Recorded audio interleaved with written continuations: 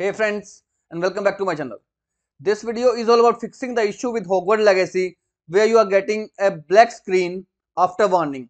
So without wasting time let's go ahead and proceed with the resolution. In the very first and basic step I suggest you to wait for at least few minutes. Many users have told that waiting for few minutes has fixed out the issue of black screen after warning. Now if this doesn't fail let's proceed with the troubleshooting steps. Right click on start menu and choose the option device manager. Here you need to expand display adapter. Right click on your GPU and choose the option properties.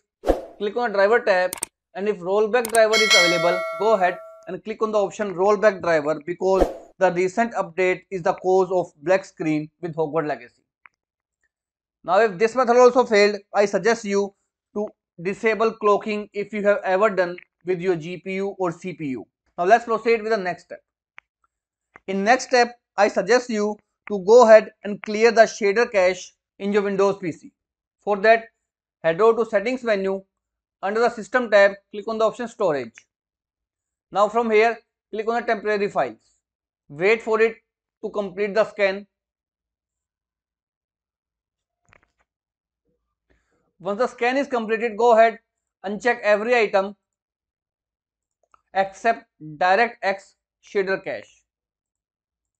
Once this is check mark, go ahead, click on the option remove files. Once the file is removed, go ahead and run the Hogwarts Legacy. Again, it will take few minutes to rebuild the cache and this will fix out the issue of Hogwarts Legacy black screen. However, if all the method fails, right click on start menu and choose the option run. Type here percentage local app data percentage and then hit the enter key. Now from here, first of all make sure you enable the hidden file options which is available in view tab. Click on the show and here make sure that this icon must be tick mark to enable the hidden files present in your PC. Now type H key to find Hogwarts Legacy folder. Open it, open saved, config and WindowsNoEditor and here find a file with the name game user. You need to right click on it and choose the option open with and select notepad.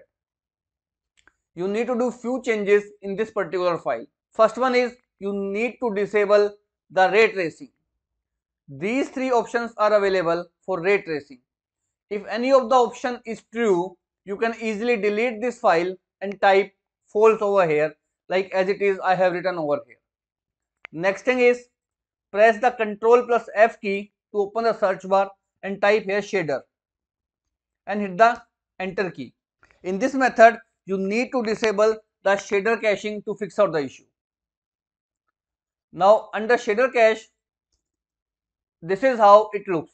What you need to do is to simply add a text to fix out the black screen issue and here is the text. I'll share this text in the description of this video. Simply copy from the description and paste right over here by pressing the Ctrl V button.